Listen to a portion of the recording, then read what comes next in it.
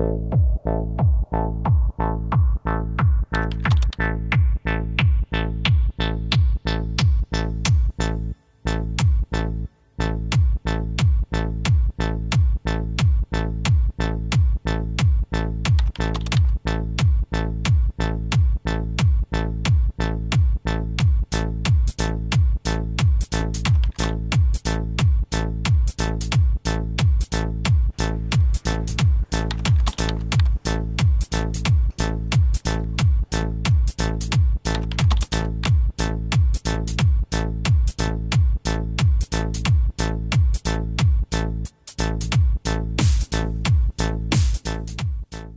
Por estas calles donde ustedes están viendo maltrecho, caminan periódicamente estudiantes, ancianos, niños, mujeres con cuatro o cinco chicos. Hicimos miles de reclamos. Esto todos los años es lo mismo, es la misma historia.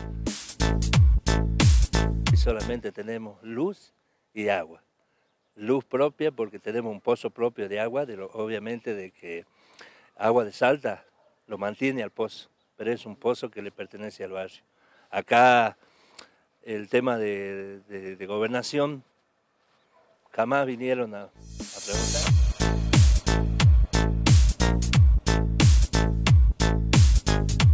No tenemos gas natural, no tenemos, digamos, digámosle, las cloacas.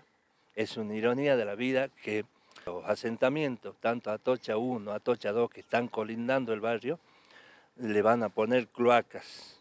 Ahora, la ironía de la vida, que van a pasar por el barrio San Rafael, las cañerías, pero a San Rafael no le van a poner las cloacas. Ustedes lo vieron, la cantidad de gente que toma el colectivo. Niños, ancianos, gente enferma, gente... Y olvidémoslo que haya una, una señora o alguien con silla de ruedas. Acuérdense que los colectivos tienen la rampa para que suban. Acá no, olvidar. Son cuatro pedazos de lata que se rompen y ahí tienen que viajar.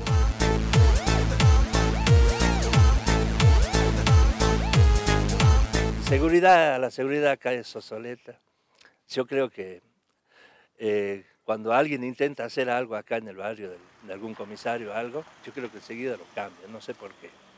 La vez pasada hablando con un, encargado de la comisaría, llamámosle así, me dijo que tenía contaba solamente por turno con cuatro o cinco efectivos, que no tenía más. El tema de la salud, no hay médico. Hay un centro de salud acá en el barrio, pero no hay médico. En la sala de acá no hay ni medicamentos ni doctores y yo no sé, debe haber dos enfermeras para tanta cantidad de gente.